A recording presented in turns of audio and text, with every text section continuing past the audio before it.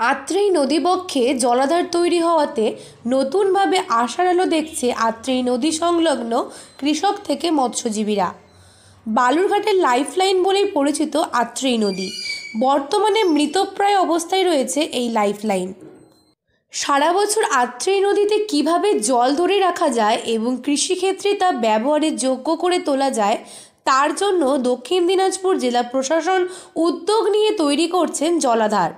জেলা প্রশাসনের পক্ষ থেকে জানা যায়, প্রায় আশি শতাংশ কাজ হয়ে গেছে। পাশাপাশি খুব শীঘ্রই বর্ষার আগে বাকি কাজ সম্পন্ন হবে।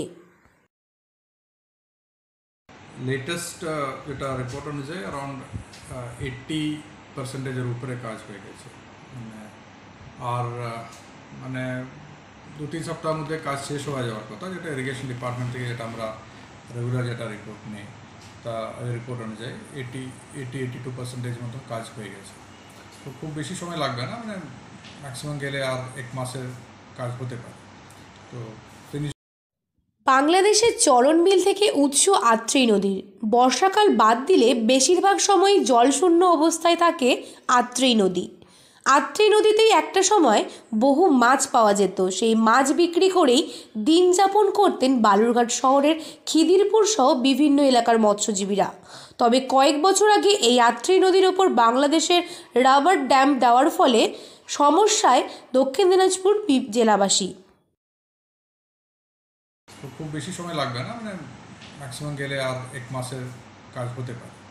তো ফিনিশিংয়ের জন্য মানে আরও বেশি সময় লাগবে কিনা সেগুলো একটু দেখার বিষয় আছে। কিন্তু মূল কাজটা আর দশ বারো, দশ পনেরো পার্সেন্টেজের মানে মূল কাজ বাকি আছে। হ্যাঁ মানে আমাদের নর্মাল মানসুন সিজন যখন যে জুলাই মাসে যেটা শুরু করি বা জুনের মিডলে যেটা শুরু করি, তার আগে এই কাজটা কমপ্লিট হয়ে যাবে। আত্রেই নদীতে কীভাবে জল ধরে রাখা যায়, জেলার প্রশাসন তার পরিকল্পনা গ্রহণ করে তৈরি করছেন জলাধার। এরপরই আশায় বুক বাঁধছে দক্ষিণ দিনাজপুর জেলার বালুরঘাটের মৎস্যজীবী থেকে সাধারণ মানুষ। দীর্ঘ প্রায় একত্রিশ কোটি টাকা ব্যয় করে বালুরঘাটে একটি স্বল্প উচ্চতার প্রতিবন্ধকতা তৈরি করা হচ্ছে। এ বিষয়ে নদীপ্রেমী ও পরিবেশকর্মী বিশ্বজিৎ বর্ষাক বলেন, দক্ষিণ দিনাজপুর জেলার মধ্যে দিয়ে যাওয়া আত্রেই নদী ক্রমেই শীর্ণ হয়ে পড়েছে। নদীর ধারের বাসিন্দারা খুব সমস্যায় রয়েছে। জলাধারের কাজটি সম্পূর্ণ হলে আত্রেই নদীকে ঘিরে কর্মসংস্থান ও পর্যটনও হতে পারে।